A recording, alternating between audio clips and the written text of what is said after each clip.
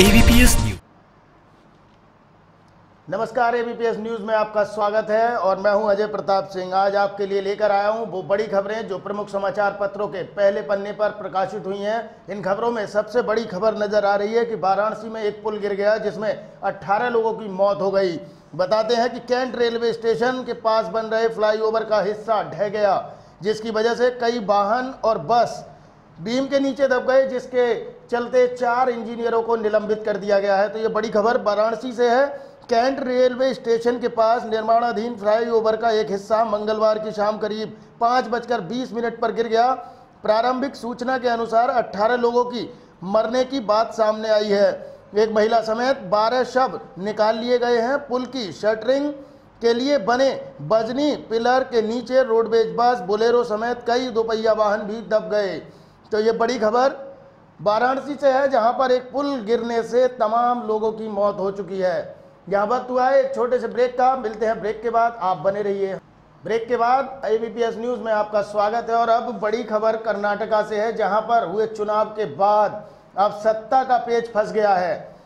हिंदुस्तान में छपी इस खबर के अनुसार, कर्नाटक में अब किसकी सरकार बनेगी, इस बात को लेकर तमाम सियासी गलियारों में हलचल का माहौल है। यहाँ बताया जा रहा है कि कांग्रेस और भाजपा दोनों में अब सत्ता पाने की ललक और ज़्यादा बढ़ गई है, क्योंकि अगर गठबंधन की बात करें तो दोनों ही पार्टियों के पास में अभी ऑप्शन बचे हुए हैं। कौन सी पार्टी जेडीएस के साथ में गठबंधन करेगी? और ये तय माना जा रहा है कि जेडीएस जिसके साथ जाएगी, वही पार्टी कर्नाटका में सरकार बनाएगी। तो इन दोनों राष्ट्रीय पार्टियों का पेच अब फंस चुका है कि सरकार आखिर अब बनाएगा कौन। जिसका फैसला अब वही दल करेंगे जो इन दोनों पार्टियों से अलग है, जिनमें जेडीएस पार्टी जो है वो प्रमुख दल के रूप में सामने आ रही है। उन्होंने शायद दावा भी पेश कर दिया है। इसमें प्रधानमंत्री की तरफ़ से बताया जा रहा है कि नरेंद्र मोदी ने राज्य में 21 रैलियाँ की। किसी प्रधानमंत्री ने राज्य में सबसे अधिक रैलियाँ की हैं। इस दौरान वे किसी धार्मिक स्थल पर भी नहीं गए। जी हाँ भाजपा की तरफ़ से ये खास बात सामने आ रही है कि 21 रैलियाँ होने के बावजूद भी प्रधानमंत्री किसी धार्मिक स्थल पर नहीं गए हैं तो वहीं देवगौड़ा की पार्टी जेडीएस निर्णायक भूमिका निभाएगी। कांग्रेस ने समर्थन देकर सरकार बनाने की पेशकश कर दी है।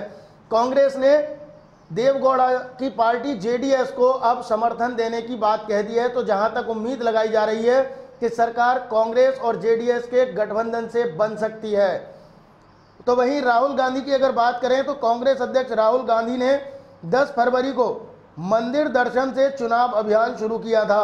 19 मंदिरों में दर्शन किए 90 दिन में आठ बार राज्य का दौरा किया है। 90 दिन के अंदर कांग्रेस के अध्यक्ष राहुल गांधी आठ बार कर्नाटका का दौरा कर चुके हैं। येदुरप्पा की अगर बात करें तो शिकारीपुर से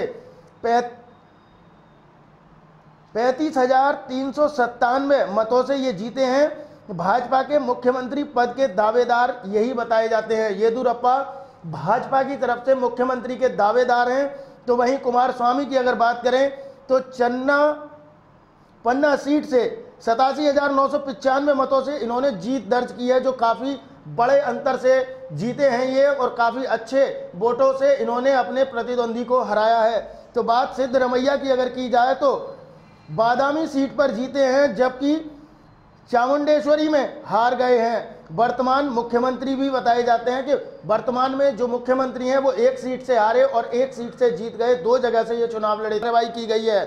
तो ये थी आज की सुर्खियाँ। इसी